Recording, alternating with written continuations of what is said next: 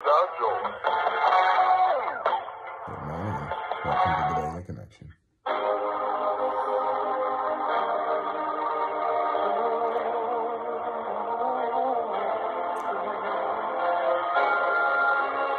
Well, good morning, Tennessee Valley, and welcome to another day broadcasting right here at WDJL, your gospel explosion station, on this Wednesday, June 3rd, 2022.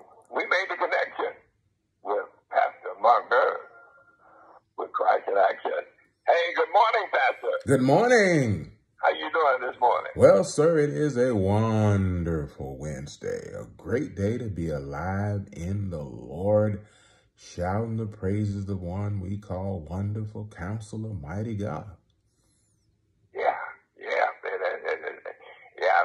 I was I was talking to BB the other day, and he said he's gonna try to record a song called "Wonderful." so, uh, so, uh, so be, be, be, be looking out for, for that coming to your stores pretty soon. Hey, but, but right now you're gonna give us some that good news, yeah, that we can use.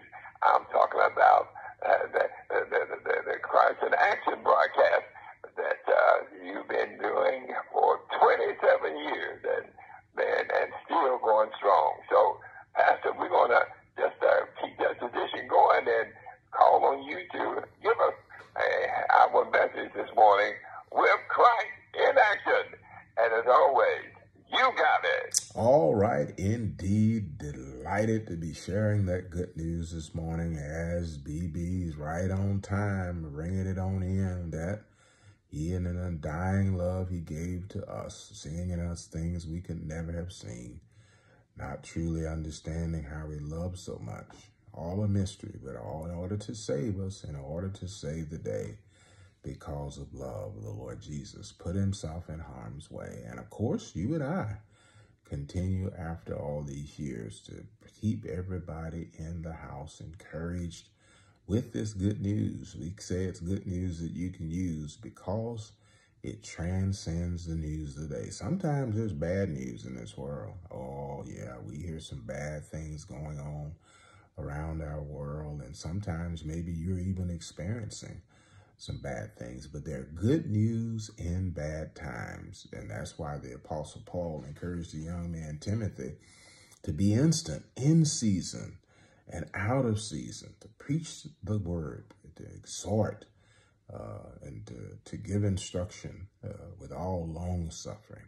Why is that? Because the good news of God's word is the power of God. The good news of Jesus Christ is the power of God to work in your life and mine.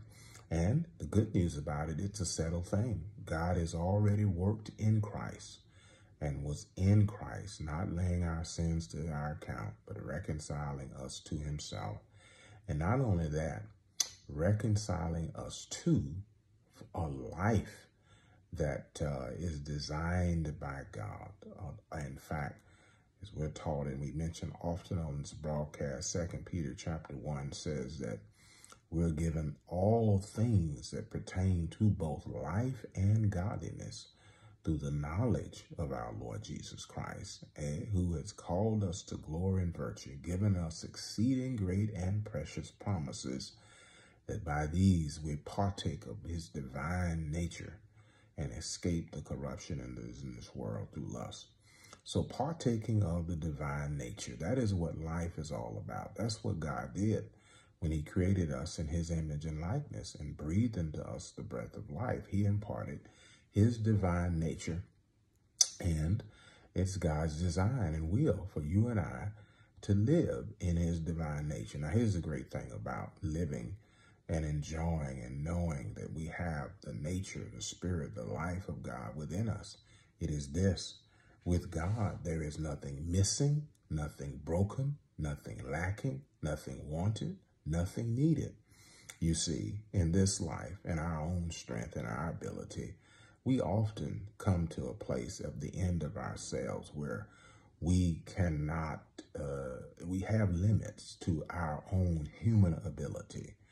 Uh, sometimes we encounter things in this world that uh, are difficult, that could leave us broken from a natural standpoint. But we have God and we have his nature within us. And so we have a choice, a decision to partake. What are you partaking of today? You know, there are many things, as I started off saying, that will go on in this world, bad things, but we get to choose good. In fact, the Apostle Paul teaching us to pray in, in Philippians chapter 4 and verse 6 says, don't be, don't be uh, anxious, fretful, full of care and worry and fretting about anything, but in everything, in everything, with prayer and supplication with thanksgiving, let your requests be made known unto God. And he will cause uh, to his peace to rule and mount guard over your heart to guard and protect your heart and to provide you what you need. But note, it says we have to choose to uh, make our requests known with prayer and uh, supplication with thanksgiving. What do all those words mean? It just means petition God, go to him, ask that his kingdom come and his will be done on earth as it is in heaven. Be thankful for what he has done in your life, like we talked about yesterday. And then once you have petitioned him, uh, you don't have to beg him. Just remind him thankfully about his promises and his word and what he said to us. But listen, it doesn't end there. Here's where we often miss it in the completeness of the thought that the apostle shared in, in Philippians 4. He says in verse 8, he said, Finally, my brethren, whatsoever is lovely, whatever is honest, just, of a good report, if it's virtuous, if it's praiseworthy, he says, think on these things. Friend, what are you thinking on today? You have a choice of what you allow to rest in your heart and mind. May we choose to allow God and his word and the good things and his goodness. May we choose life today by focusing our thoughts on God, his word, his spirit, his promises, and the love he has for us. And may we be the agent of the same in the lives of others.